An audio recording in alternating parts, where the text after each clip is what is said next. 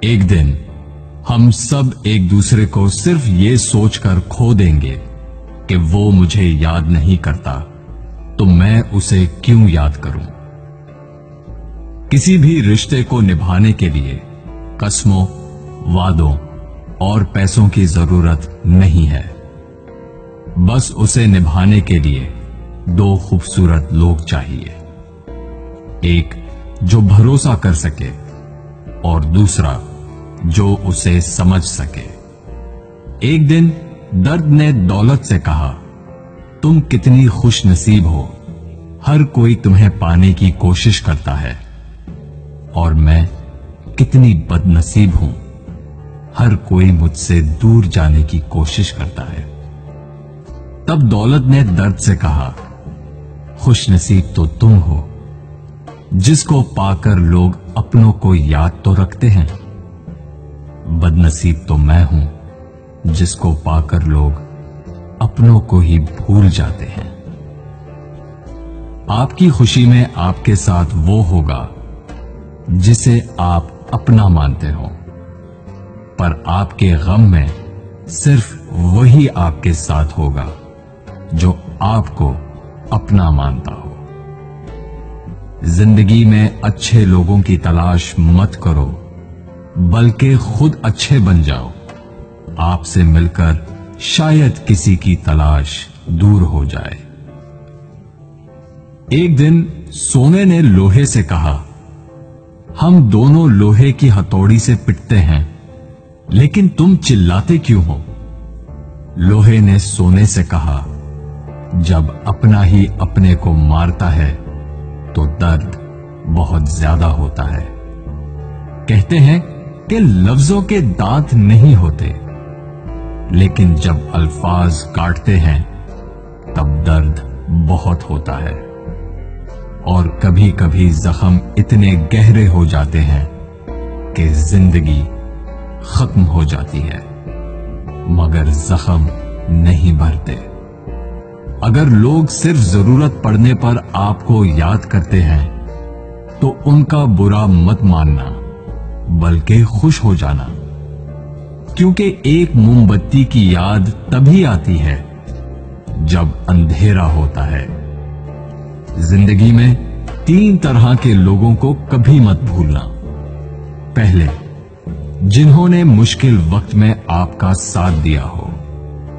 دوسرے جنہوں نے مشکل وقت میں آپ کا ساتھ چھوڑ دیا ہو۔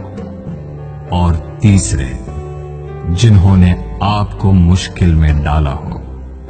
اگر آپ کسی کو کچھ دینا چاہتے ہیں، تو اپنا اچھا وقت دیجیے کیونکہ آپ ہر چیز واپس لے سکتے ہیں، پر کسی کو دیا ہوا اچھا وقت واپس نہیں لے سکتے۔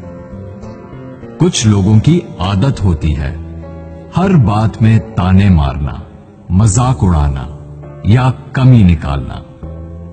ایسے لوگوں کی باتوں سے پریشان مت ہوئیے۔ بس ایک بات یاد رکھیے، بچھو کی فطرت ہمیشہ ڈنگ مارنا ہوتا ہے۔ کئی لوگ بہت سمجھانے کے باوجود نہیں سمجھتے۔ تو آپ پریشان مت ہوئیے۔ آپ بھینس کو کتنا بھی نہلا دو۔ کچھ دیر بعد اس نے بیٹھنا کیچڑ میں ہی ہے۔ لوگ کہتے ہیں، دنیا میں بہت گندگی ہے، اب جینا مشکل ہے۔ لیکن ہم کہتے ہیں، ایک بار کول کے پھول کو دیکھاؤ، ساری غلط فہمیاں دور ہو جائیں گی۔ کسی کے کچھ کہنے یا کرنے سے آپ کو بہت غصہ آ جاتا ہے، تو آپ کو برداشت رکھنا ہوگا۔ اس کا مطلب ہے، آپ کا خود پر کنٹرول ختم ہو گیا ہے۔ اگر آپ کسی کو کوئی اچھی صلاح نہیں دے سکتے، تو صرف ایک کام کریں۔ مہربانی کریں اور صبر کریں۔ دنیا کا سب سے مہنگا لکوڈ آنسو ہوتا ہے۔ جس میں ایک فیصد پانی اور ننانوے فیصد احساس ہوتا ہے۔ ایک جوکر نے لوگوں کو لطیفہ سنایا۔ سب بہت ہنسے۔ اس نے وہی لطیفہ دوبارہ سنایا۔ تو کم لوگ ہنسے۔ اس نے وہی لطیفہ تیسری بار سنایا۔ تو کوئی نہیں ہنسا۔ پھر اس نے ایک بہت پیاری سی بات کہی۔ اگر آپ لوگ ایک خوشی کو لے کر بار بار خوش نہیں ہو سکتے، تو ایک غم کو لے کر بار بار روتے کیوں ہو؟ دن بھر کام کرنے کے بعد بیٹا پوچھتا ہے، کیا لائے ہو؟ بیوی پوچھتی ہے، کتنا بچایا؟ پاپا پوچھتے ہیں، کتنا کمایا؟ لیکن ایک ماں ہی ہے جو پوچھتی ہے، بیٹا کچھ کھایا؟ زندگی میں آپ سے کون ملے گا؟ یہ وقت طے کرے گا۔ زندگی میں آپ کس سے پیار کرتے ہیں؟ یہ آپ کا دل طے کرتا ہے۔